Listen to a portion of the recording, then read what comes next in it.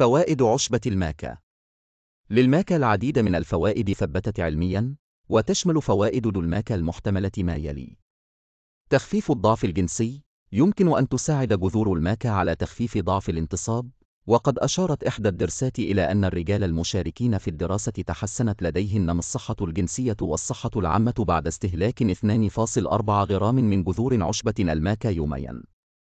زيادة الرغبة الجنسية تعد زيادة الرغبة الجنسية الفائدة الأكثر شهرة للماكا، ويوجد بعض الأدلة العلمية التي تدعم فوائد الماكا في تحسين الرغبة الجنسية. تقليل تضخم البروستاتا يعد تضخم البروستاتا الحميد أمر شائع لدى الرجال، وعادة ما تتطور هذه الحالة نتيجة للتقدم في السن. وقد أشارت بعض الدراسات التي أجريت على القوارض إلى فوائد الماكا الحمراء في تقليل تضخم البروستاتا نتيجة لنسبة المرتفعة من الجلوكوزينولات بها، وترتبط هذا لمواد أيضا بتخفيض خطر الإصابة بسرطان البروستات. زيادة الخصوبة تستخدم الماكا بشكل واسع خاصة لدى الرجال لزيادة الخصوبة، وقد وجدت بعض المراجعات أدلة بأن جذر الماكا يزيد من جودة السائل المنوي لدى الرجال الذين يعانون من العقم، ولكن لا تزال هناك حاجة للمزيد من الأبحاث حول هذا لفائدة للماكا.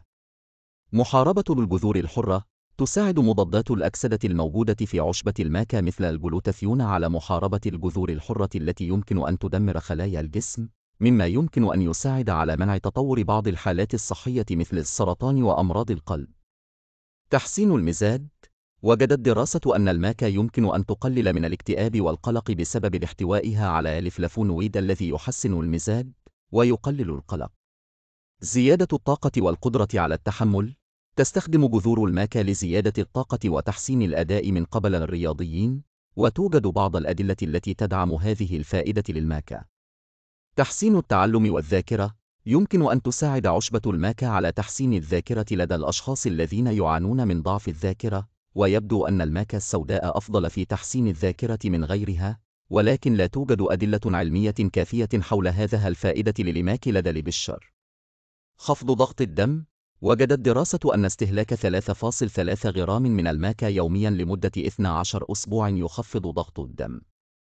تقليل أضرار أشعة الشمس وجدت دراسات أجريت على نماذج حيوانية أن الماكا يمكن أن تساعد على حماية الجلد من أضرار أشعة الشمس، وقد تساعد في منع تكون خلايا حروق الشمس.